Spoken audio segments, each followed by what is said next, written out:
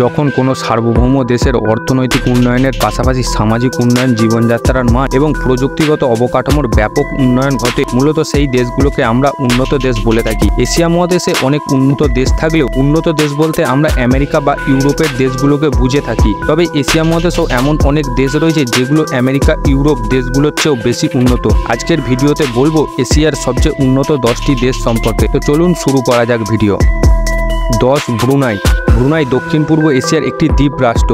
Zero দশমিক আট দুই নয় এইচডিআই স্কোর নিয়ে এটি এশিয়ার দশম উন্নত দেশ এবং বিশ্বে একান্নতম অবস্থানে রয়েছে। এই দেশের মানুষের গড় আয়ু প্রায় চুয়াত্তর বছর। এবং সাক্ষরতার হার প্রায় সাতানব্বই শতাংশ। উনিশশো চুরাশি সালে এই দেশটি ব্রিটিশ শাসন থেকে স্বাধীনতা লাভ করে। এই দেশটির অর্থনীতি প্রায় সম্পূর্ণরূপে অপরিশোধিত তেল এবং প্রাকৃতিক গ্যাস রপ্তানির উপর নির্ভর করে। এটি বিশ্বের সবচেয়ে ধনী দেশগুলোর মধ্যে একটি, যেখানে দেশটির নাগরিকদের বিনামূল্যে চিকিৎসা ও চিকিৎসা সেবা প্রদান করা হয়। নয় কাতার কাতার, পশ্চিম এশিয়া তথা মধ্যপ্রাচ্যের একটি দেশ। জিরো দশমিক আট পাঁচ পাঁচ এইচডিআই স্কোর নিয়ে এটি এশিয়ার সবচেয়ে উন্নত দেশের তালিকায় নবম স্থানে রয়েছে এবং বিশ্বে বিয়াল্লিশতম অবস্থানে। এই দেশের মানুষের গড় আয়ু উনআশি বছর এবং সাক্ষরতার হার প্রায় তিরানব্বই শতাংশ। উনিশশো একাত্তর সালে এই দেশটি ব্রিটিশ শাসন থেকে স্বাধীনতা লাভ করে। সে সময় এই দেশটি মৎস্যশিল্প এবং মুক্তা আরোহণের উপর নির্ভরশীল ছিল। তবে বর্তমানে এই দেশটির অর্থনীতির মূল চালিকা শক্তি হল তেল এবং প্রাকৃতিক গ্যাস রপ্তানি। আট সাইপাস সাইপাস ভূমধ্যসাগরে অবস্থিত একটি দ্বীপ রাষ্ট্র। জিরো দশমিক আট নয় ছয় এইচডিআই স্কোর নিয়ে এটি এশিয়ার সবচেয়ে উন্নত দেশের তালিকার অষ্টম স্থানে রয়েছে এবং বিশ্বে উনত্রিশতম অবস্থানে রয়েছে। ভৌগোলিক দিক থেকে সাইপাস এশিয়া মহাদেশের মধ্যে অবস্থিত হলেও দেশটি ইউরোপীয় ইউনিয়নের অন্যতম সদস্য। এই দেশের মানুষের গড় আয়ু প্রায় একাশি বছর এবং সাক্ষরতার হার নিরানব্বই শতাংশ। উনিশশো ষাট সালে এই দেশটি ব্রিটিশ শাসন থেকে স্বাধীনতা লাভ করে। সাইপাস একসময় কৃষি নির্ভর দেশ ছিল, তবে বিগত তিরিশ বছরে দেশটির অর্থনীতি, ম্যানুফ্যাকচারিং এবং সার্ভিস সেক্টর নির্ভর হয়ে উঠেছে। সাত সংযুক্ত আরব আমিরাত। সংযুক্ত আরব আমিরাত মধ্যপ্রাচ্যের একটি দেশ। জিরো দশমিক নয় এক এক এইচডিআই স্কোর নিয়ে এটি এশিয়ার সবচেয়ে উন্নত দেশের তালিকায় সপ্তম স্থানে রয়েছে। এবং বিশ্বের ছাব্বিশতম অবস্থানে রয়েছে। এই দেশের মানুষের গড় আয়ু প্রায় আটাত্তর বছর এবং সাক্ষরতার হার প্রায় আটানব্বই শতাংশ। উনিশশো একাত্তর সালে এই দেশটি ব্রিটিশ শাসন থেকে স্বাধীনতা লাভ করে। বর্তমানে দেশটির আয়ের মূল উৎস হল তেল এবং প্রাকৃতিক গ্যাস রপ্তানি। পাশাপাশি দেশটির আকর্ষণীয় পর্যটন খাতের অর্থনীতির গুরুত্বপূর্ণ ভূমিকা রাখে। ছয় তাইওয়ান তাইওয়ান পূর্ব এশিয়ার একটি দেশ। জিরো দশমিক নয় এক ছয় এইচডিআই স্কোর নিয়ে এটি এশিয়ার সবচেয়ে উন্নত দেশের মধ্যে ষষ্ঠ এবং বিশ্বের চব্বিশতম অবস্থানে রয়েছে। দেশটির মানুষের গড় আয়ু প্রায় একাশি বছর এবং সাক্ষরতার হার প্রায় ছিয়ানব্বই শতাংশ। এশিয়ার সবচেয়ে উন্নত দেশের তালিকায় থাকলেও তাইওয়ান আন্তর্জাতিকভাবে স্বীকৃত কোনো দেশ নয়। এটি মূলত চীনের একটি অংশ হিসাবে গণ্য করা হয়। তাইওয়ানের প্রধান রপ্তানি পণ্য হল ইলেকট্রনিক্স ধাতু এবং ধাতব পণ্য, প্লাস্টিক, রাবার, রাসায়নিক দ্রব্য এবং বিভিন্ন যন্ত্রপাতি।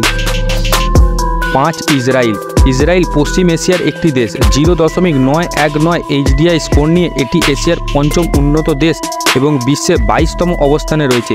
এই দেশের মানুষের গড় আয়ু বিরাশি বছর এবং সাক্ষরতার হার প্রায় সাতানব্বই শতাংশ। দেশটির সবচেয়ে গুরুত্বপূর্ণ অর্থনৈতিক খাতগুলি হল প্রযুক্তি ম্যানুফ্যাকচারিং এবং ডায়মন্ড পলিশিং এছাড়াও দেশটির একটি শক্তিশালী প্রযুক্তি খাদ রয়েছে। উনিশশো আটচল্লিশ সালে ইসরায়েল ব্রিটিশ প্যালেস্টাইন থেকে স্বাধীনতা লাভ করে। চার জাপান। জাপান পূর্ব এশিয়ার একটি দ্বীপ রাষ্ট্র জিরো দশমিক নয় দুই পাঁচ এইচডিআই স্কোর নিয়ে এটি এশিয়ার সবচেয়ে উন্নত দেশের মধ্যে চতুর্থ এবং বিশ্বে উনিশতম অবস্থানে রয়েছে। এই দেশের মানুষের গড় আয়ু চুরাশি বছর এবং সাক্ষরতার হার প্রায় নিরানব্বই শতাংশ। জাপানের দক্ষ এবং উৎপাদনশীল কর্মশক্তি এবং জৈব প্রযুক্তি।